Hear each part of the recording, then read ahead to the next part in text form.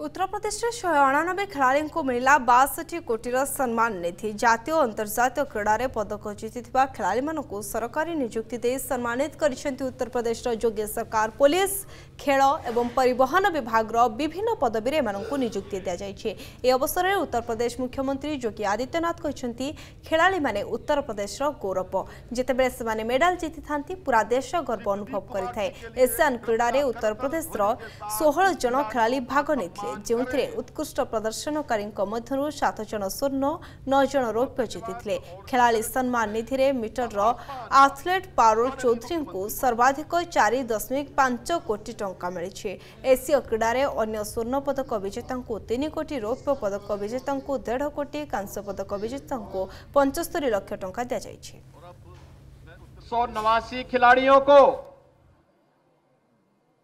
बासठ करोड़ रुपए से अधिक की राशि आज यहाँ पर प्रदान की गई है।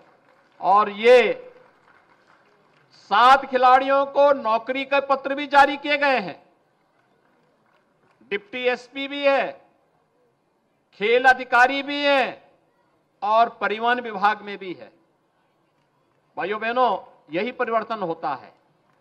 जब नेतृत्व अच्छा होता है पहले पैसा देकर के लोग नौकरी खरीदते थे। आज सरकार नौकरी भी दे रही है और पैसा भी दे रही है। देखा ना आपने? जदि आपंक आम भिडी भल लगा तेब आम चैनल को लाइक, शेयर और सब्सक्राइब करने को जमा भी भूलु नहीं।